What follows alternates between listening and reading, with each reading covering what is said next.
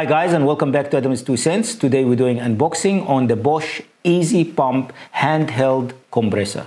Okay, so actually I ended up buying this, this pump um, because I want to carry it on and use it on my uh, mountain bike or on my motorbike. Um, it makes sense to, to use it and also for light stuff like um, bumping a soccer ball for my kids and uh, um, I generally for safety uh, reasons I don't let air in my compressor. So whenever I use my my uh, garage compressor I end up dumping the air and uh, making sure the tank is empty and vented um, so whenever I need to do a light stuff such as bumping a tire, uh, just topping up a tire on a mountain bike or or a, a ball for my kid, I have to uh, run my uh, 100 liter compressor and this takes some time and it wastes of course energy for no reason because I'm not going to use all this volume of air and um, yeah and it takes some time actually to build up the, the air. Um, so I decided to buy this handheld compressor as a portable one that I can use around the house uh, for small things and I also can use for uh, the occasional uh, outdoor activities with mountain bike, motorbike or even with camping. Uh, the pump is powered as we can see with a 3.6 volt uh, lithium ion battery which it gives about um, I think 10 10.8 watt an hour. Um, it's a rechargeable battery um, through um, a USB-C um, USB-C type uh, type port. Uh, it can push up to 10.3 bar or 150 150 psi. Uh, so all this claim will go through it and we'll see if it can actually do do that. Um, also, the pump has a, a preset, so it, you can set it to whatever value you need, and it pumps to that set and stops. So it has an auto stop sort of a of a thing. So let's go ahead, do the unboxing, then continue our chat.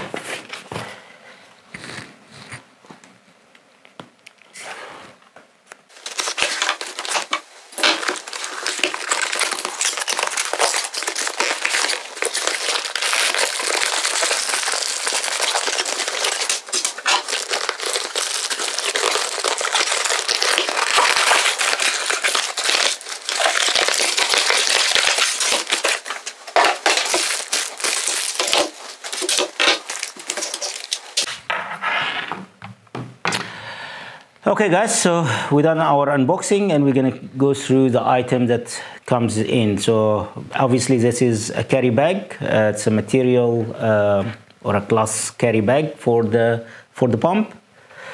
We have our uh, USB cable, which is USB A to USB C uh, cable, and don't see I don't see any power adapter with it. So it's basically I think it uses let me actually check. Ah, so it doesn't come with uh, it doesn't come with own power adapter. It comes only with a USB uh, charge, charging cable, which is, as I said, USB A to USB C, and it looks like a one meter, three foot cable.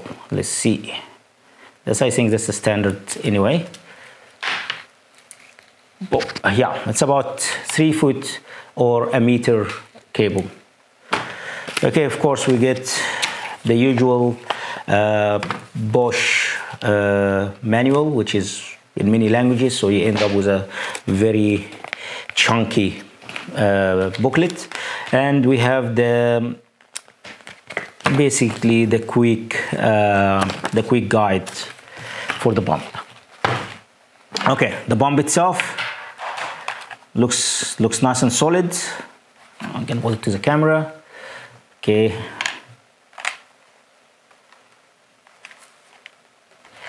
Okay, so just reading reading on the tag at the back, just nothing but the 3.6 3 3 amp hour uh, battery and it is 10.8 uh, watt an hour that's what we said and the maximum pressure 10 uh, 10.3 bar 150 psi and made hmm it's actually made in Germany. Oh, wow. Uh, generally, most of the items will be done in uh, China, but this is actually made in Germany. Okay, so the hose we have uh, it's about uh, 24 actually on the on the manual it says about 24 uh, centimeters, which is about uh, 10 inch, so 10 inch hose, and it is um, with a swivel, so you can swivel it. It can swivel. Okay, coming to the pump itself, it looks like we have a compartment here. And this compartment, it houses your extra adapters. So let's, let's get them out.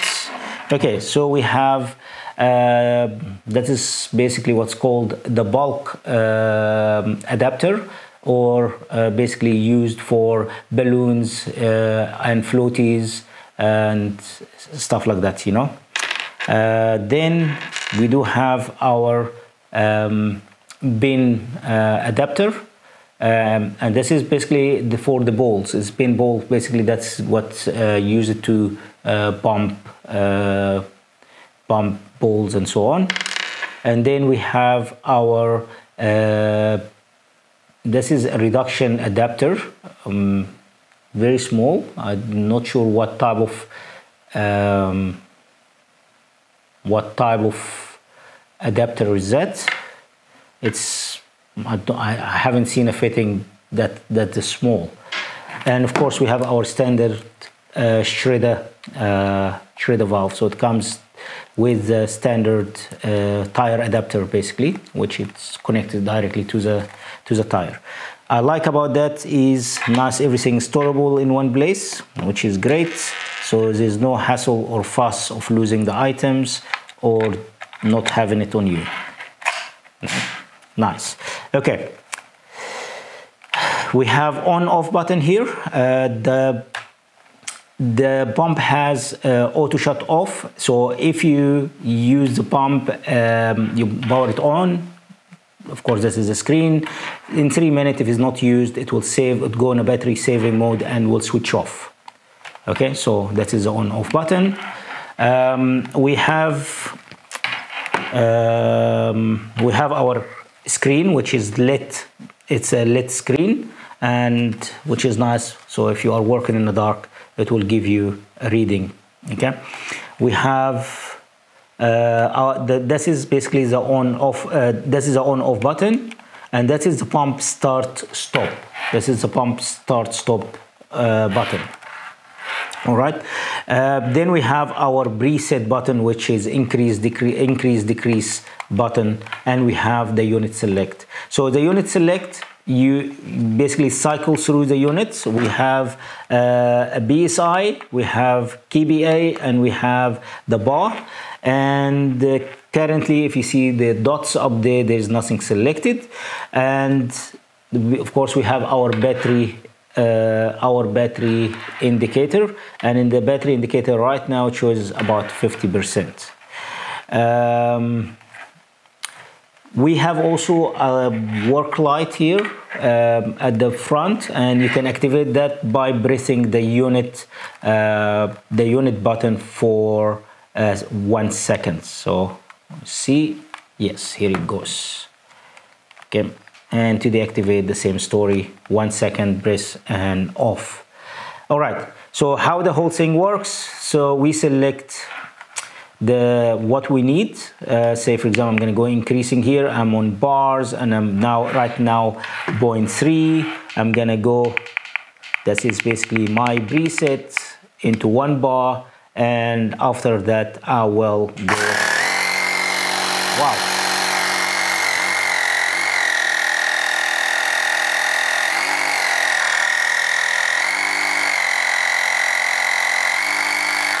and stop.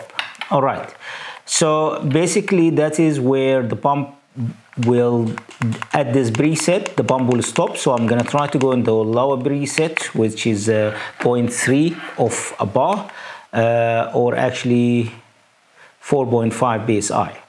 Okay, so 0.3 of a bar, and I'm gonna try to actually to stop the fitting from there.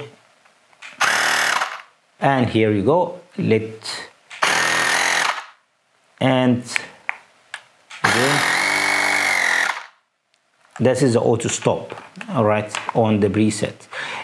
There's actually another function on the on the pump which is should you need to bump without uh, selecting presets basically you just need volume air. Uh, say for example you you're doing a, a, mattress or doing something like that um, and you need just a compressor to work override basically it's got an override function to the preset which if you look here I'm just gonna fold, put it on this camera. If you go cycling through the presets you will go all the way to the 10 bar. Okay but if you go in a minus okay let's go to the 10 bar. Okay. Okay and right now we 10.3 bar. Okay no more. All right? So if you go in the minus okay once you hit the um, the zero okay you will end up with these two dashes. I'm just gonna put it for the overhead camera and there you'll end up with these two dashes. In these two dashes you can start the pump and the pump basically will run indefinite uh, without any uh, this, this, is over uh, override the, the, the, battery saving and it override the limits or the preset units. So that's guys that's in a shot in a, that's guys in a nutshell. That is basically all what's for the pump. I will try oh yeah it has a nice neat clamp here at the back i think this is when you store it inside inside the sack basically. Yeah. And of course this is off. So it looks solid guys. It looks uh, it looks neat. It is light. Uh, as i said it's about one pound uh, or less than one pound. Is 0.4 um, uh, 0.4 of a kg. Um, so it is nice and light um, so putting it in a in a in a backpack or in a grab bag is not is not a biggie. Um, so I'm gonna do more tests with uh, with the units and uh, see if it's if it can actually uh, do the job proper, and I will give you guys a feedback on that. Okay, guys, that is all from me, and I hope to see you soon in another unboxing or another DIY video. Till the next time, stay safe.